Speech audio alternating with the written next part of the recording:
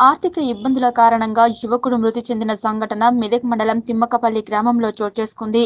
Medak rural SI Krishna Reddy మాట్లాడుతూ తిమ్మకపల్లి గ్రామానికి చెందిన శ్రీపతి శేఖర్ అనే యువకుడు ఉపాధి కోసం ఆటో నడిపించుకునేవాడని కరోనా నేపథ్యంలో గత రెండు మూడు నెలల నుంచి ఆటో నడపడం లేదని ఫైనాన్స్ కిస్తులు కట్టకపోవటం వల్ల ఫైనాన్సియర్లు ఇబ్బందులకు గురి చేశారని తెలిపారు.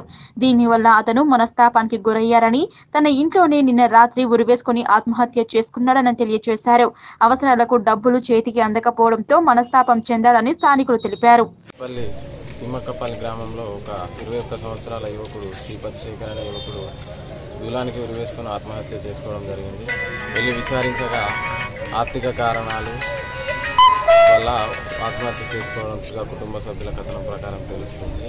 పోస్ట్ మార్టం నిమిత్తం ఏరియా ఆసుపత్రికి తరలించి పోస్ట్ మార్టం నిర్వహించి తదుపరి విచారణ చేయడం జరుగుతుంది. పంచాయతీ ఆమ్లెట్ విలేజ్ తిమ్మపల్లి గ్రామంలో శ్రీపతి శేఖర్ అని తండ్రి కిష్టయ్య ఆయన అంటే కిష్టయ్య తండ్రి చనిపోయాడు. ఈయన వాళ్ళ ముగ్గురు అన్నదమ్ములు. అంటే వాళ్ళ మిద్ద ఇద్దరు పెళ్ళిళ్ళైనాయి. ఒక ఇతని పెళ్ళి కాలేదు.